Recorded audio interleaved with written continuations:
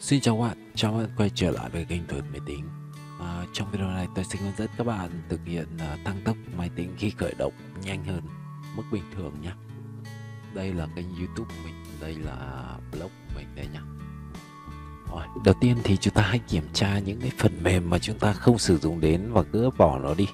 Ta sẽ vào Ctrl và N Ta vần vào mục gỡ cài đặt ta sẽ tìm xem những phần mềm mà ta sử dụng không đến để gỡ bỏ đi nhé gỡ bỏ đi để cho nó bớt hoạt động. Cách thứ hai thì chúng ta sẽ vào phần à, khởi động ở Windows 7 thì chúng ta sẽ vào Windows R và gõ chữ ms config nhé ms config enter. Mở tạo run. Rồi ta sẽ vào cái phần startup này nếu ở Win 10 thì ta chỉ cần mở chuột phải bên dưới này chọn Tag Manager và chọn phần startup này thôi. Ta sẽ tắt bỏ những cái nào mà không dùng đến, ví dụ à, Google này, ta không dùng đến ta disable đi. Rồi những cái nào mà không dùng đến, ví dụ Zalo này, disable đi. Đó. Thì nó lúc khởi động thì nó sẽ nhanh hơn rất là nhiều. Ở Win 7 thì nó sẽ ở cái à, uh, máy config này rồi, tiếp theo ta sẽ tắt phần server này nhé. Ta sẽ bỏ sang tab này. Ta sẽ tích vào cái ô hai hai Microsoft này.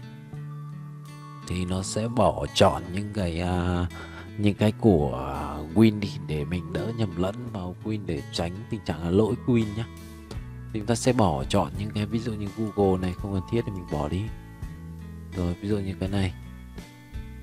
Cái này nó không cần thiết thì mình bỏ đi nào lạ thì các bạn bỏ đi.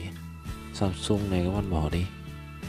Lụng cha này Tem view này bật lên thì bật lên Không mình bỏ đi. Những cái VM này thì mình bỏ đi nhá. Xong bạn ấn apply ok. Rồi các bạn khởi động lại nó có tác dụng nhá. Không các bạn không khởi động lại.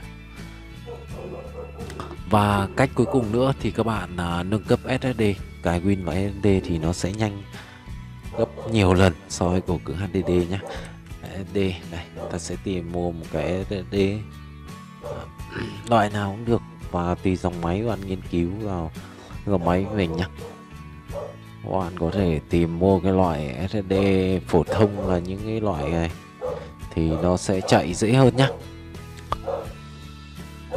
rồi chúc các bạn thành công. À, các bạn nhớ like chia sẻ video đăng ký kênh của mình nhé à, xin chào các bạn.